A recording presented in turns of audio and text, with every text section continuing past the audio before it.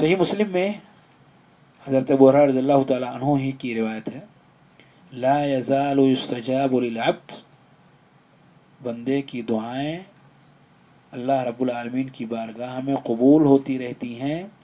ما لم يدع باسم، جب تک کہ گناہ کی دعا نہ کرے۔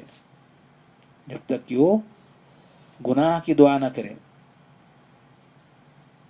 او قطیعت رحم، یا رشتہ داریوں کو کاٹنے والی دعا نہ کرے۔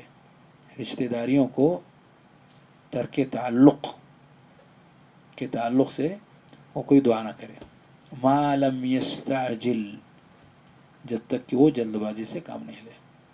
استجال اگر اس کے اندر نہیں ہے تو اس کی دعائیں اللہ رب العالمین کے ہیں قابل قبول ہیں، بشرطے کی اس کی دعاؤں میں یہ دو باتیں نہ پائی جاتی ہوں۔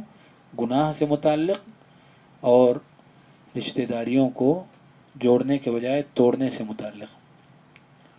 قیل یا رسول اللہ عمل استعجال نبی کریم صلی اللہ علیہ وسلم سے پوچھا گیا، یہ استعجال کیا ہے؟ اسے مسلم کی روایت یہ استعجال کیا ہے؟ آپ نے فرمایا، یقول، قد دعوت وقد دعوت میں نے دعاؤں پہ دعائیں کیا۔ قد دعوت وقد دعوت میں دعا مسلسل کرتا رہا۔ فلم آ یستجیب لی مجھے نہیں لگتا کہ میری دعا اللہ رب العالمین قبول کر رہا ہے۔